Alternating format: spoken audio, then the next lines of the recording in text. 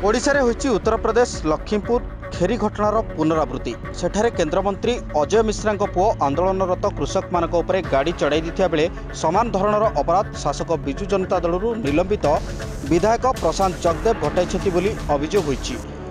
ଆଜି ବାଣପୁର ବ୍ଲକ ଅଫିସରେ ପଞ୍ଚାୟତ ସମିତି ଅଧ୍ୟକ୍ଷ ନିର୍ବାଚନ ଚାଲିଥିବା ବେଳେ ବିଜେପି କର୍ମୀମାନେ ଏକ ଶୋଭାଯାତ୍ରାରେ ଯାଉଥିଲେ। ଏହି ସମୟରେ ଚିଲିକା ବିଧାୟକ ପ୍ରଶାନ୍ତ ଜଗଦେବଙ୍କ ଗାଡ଼ି ସେମାନଙ୍କ ଉପରେ ଚଢ଼ିଯିବାରୁ ପନ୍ଦର ଜଣ ବିଜେପି କର୍ମୀ ନଅ ପୋଲିସ କର୍ମଚାରୀ ଜଣେ ବିଜେଡି କର୍ମୀ ଆହତ ହୋଇଛନ୍ତି। ଏହି ଘଟଣାରେ ଦୁଇ ଜଣ ସାମ୍ବାଦିକ ମଧ୍ୟ ଆହତ ହୋଇଛନ୍ତି। ଘଟଣା ପରେ ଉତ୍ତ୍ୟକ୍ତ ଲୋକେ ବିଧାୟକଙ୍କ ଉପରେ ଆକ୍ରମଣ କରିଥିଲେ।